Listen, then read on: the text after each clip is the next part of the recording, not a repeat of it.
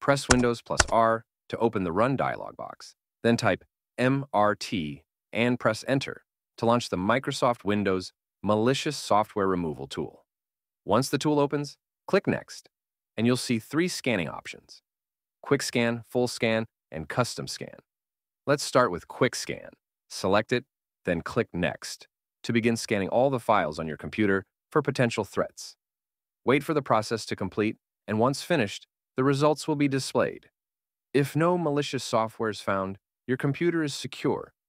However, if any threats are detected, they will be listed, and the tool will automatically remove them. So you don't need to take any further action.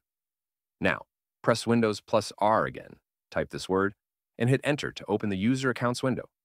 If you notice any unfamiliar users listed, select the suspicious account and click Remove to revoke unauthorized access. Moving on, open Settings, search for Startup, and select Startup Apps.